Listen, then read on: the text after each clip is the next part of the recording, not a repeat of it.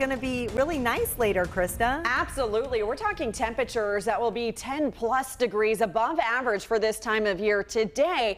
And we have even warmer temperatures as we head later on into the week. But getting you started for this morning, be aware that there is a little bit of patchy fog once again. Nothing too terribly dense at this time, but be aware it is out there reducing visibility. I'd say our more problematic areas east of Indianapolis into Hancock County right now, and then our far northwestern counties once again, much like like yesterday. So a little fog out there, but otherwise, Live Guardian radar is nice and quiet. We're going to keep us rain free for the next few days before showers arrive as we head into the weekend.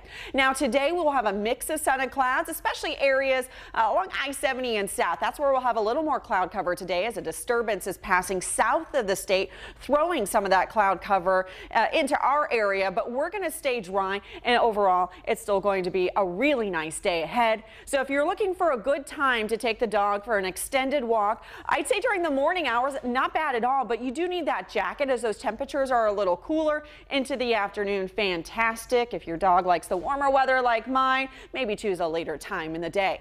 At this time, Indianapolis, we're at 49 degrees, 45 in Muncie, and 47 in Bloomington. This time of year, this time in the morning, we should see temperatures in the lower 40s. So even though there's a little more of a chill in the air, we're still above average for this time of year. We're running about 5 to 10 degrees cooler from where we were early Tuesday morning. So a little bit of a difference out there as you're walking out the door into the afternoon, though. It's going to feel great. Those clouds will start decreasing once again, and we'll see temperatures by the lunch hour right around 60 degrees and into the late afternoon. Temperatures that will be flirting with 70 degrees. I don't think we quite get there in Indianapolis, looking at a high of 69, but a few locations across central Indiana certainly could touch that mark. As we head into the evening hours, tonight will be very similar to what we had last night. Mostly clear skies. By 10 o'clock, we'll be in the mid 50s. By tomorrow morning, we'll be back into the upper 40s. So we have this ridge that's building over the eastern half of the state, and it's going to stay with us for quite some time, and it's really going to continue bringing in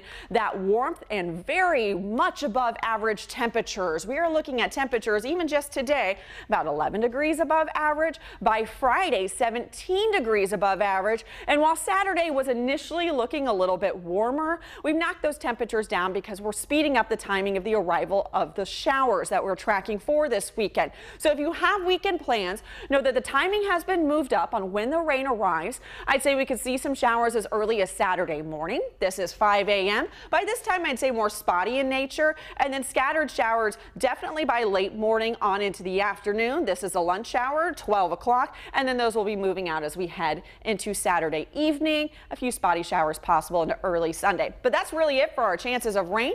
Up to 71 and dry tomorrow, 74 and dry on Friday. Those showers come on Saturday with a high of 66. Six. Set those clocks back Saturday night because daylight saving ends on Sunday. And just in Monday and Tuesday, we're looking fantastic. Now, on average, we only see two days in the 70s in Indianapolis. Well, we've got four on the board.